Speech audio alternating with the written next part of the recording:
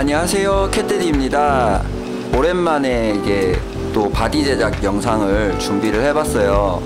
그동안 제가 그 가게를 리뉴얼을 좀 하고 많이 바빴거든요. 그래서 이제 어느 정도 정리가 되고 어, 틈이 나는 대로 이렇게 바디 제작을 계속 이어가려고 해요.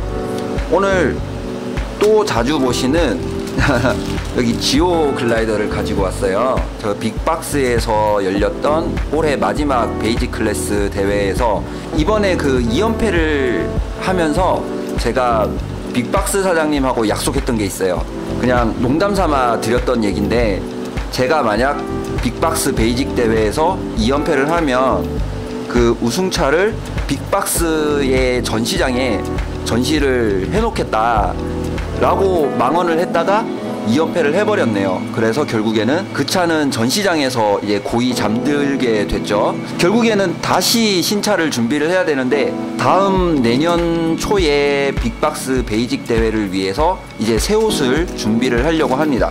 오늘은 이 Geo Glider를 빨간색, 파란색을 거쳐서 보라색과 은색의 조합으로 비올레타까지 만들었으니까 오늘은 metallic green하고 metallic gold 이렇게 해서 새로운 색깔을 한번 입혀볼게요.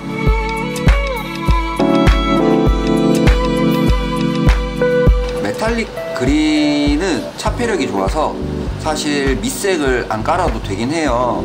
근데 이게 도색하고 마스킹하고 제가 무늬를 만든 다음에 다시 색깔을 입히는 순서로 봤을 때는 일단은 metallic gold가 먼저 들어가는 게 좋을 것 같아요.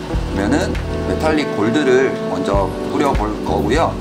지금 온도가 굉장히 낮아요. 지금 1.2도인가? 한마디로 뭐 이전 영상에서 많이 말씀드렸던 것처럼 도색하기에는 최악의 조건이라고 어, 볼 수 있겠네요. 그래도 한번 도전해 보겠습니다.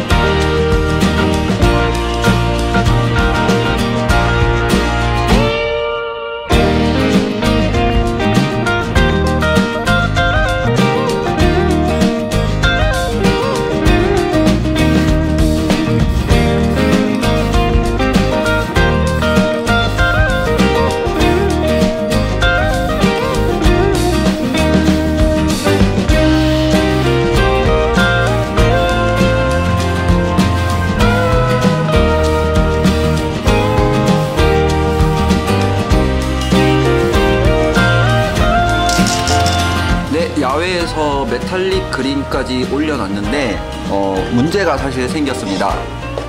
지금 보시는 이 메탈릭 그린의 농도가 원래 이거보다 더 진하게 뿌려야 되거든요. 근데 도료를 뿌리는 중에 바닥이 났어요. 제가 쓰고 있던 도료를 갖고 왔는데 양이 얼마 안 남아가지고 특별히 뭐 모자르는 거 없이 일단 골고루는 뿌렸는데 생각했던 그 농도만큼 진하게는 못 뿌렸어요. 얘는 그냥 마스킹 벗겨서 이제 클리어 마감을 이따 하면 되고 얘는 이제 여기 날개 라인으로 이제 마스킹을 해놓고 나머지 다시 금색으로 이렇게 다시 만들 거예요. 그리고 여기 날개 부분에 이제 요 초록색을 또 마스킹을 해서 무늬를 추가를 하고 이제 작업을 이어 나가도록 하겠습니다.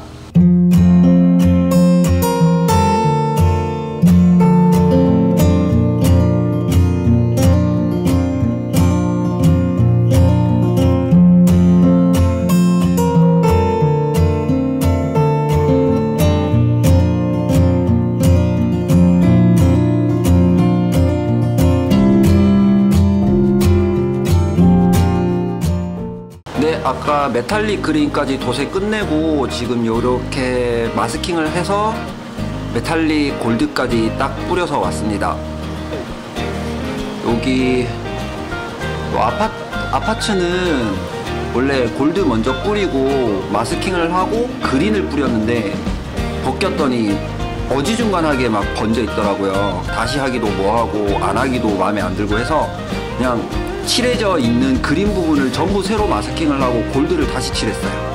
그래서 지금 벗겨 봤을 때 또 번져 있으면 어, 엄청 열받을 것 같고요.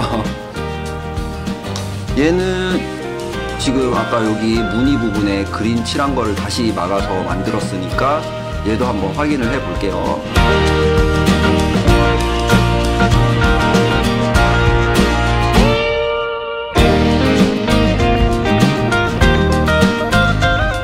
아까 그 첫 마스킹 작업 확인했을 때 번졌던 부분 지금 다시 칠하고 나니까 아 이제는 좀 봐줄 만큼은 이제 보완이 됐네요. 어 얘는 다시 한 보람이 있어요. 이제 몸통이 걱정인데 몸통도 한번 뜯어볼게요.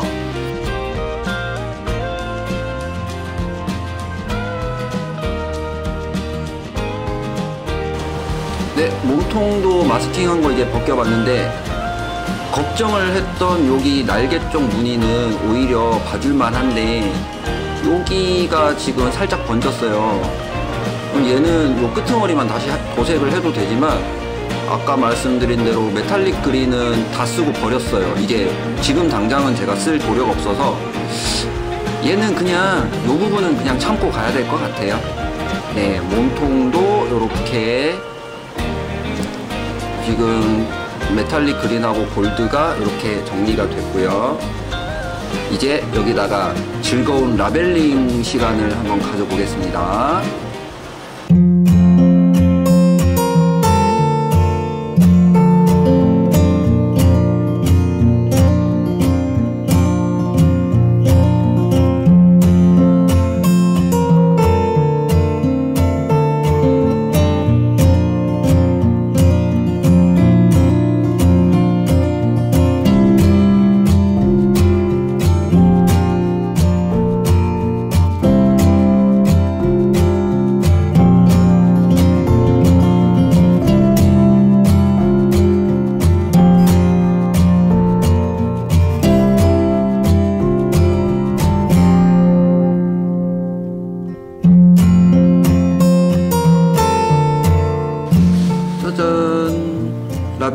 까지 다 했습니다. 오. 괜히 색깔 때문에 되게 비싸 보이네요. 어, 결국에는 음, 적당히 합의를 해서 요 날개 번진 부분은 그냥 눈 감아주고 대충 마무리한 거 봤을 때 어, 이번에도 한 중간 정도는 얘가 해준 것 같아서 그냥 이대로 완성을 하려고 해요. 여기다가 이제 유광 마감하고 어, 세팅된 차에 이제 얹어서 완성 사진 보여드릴게요.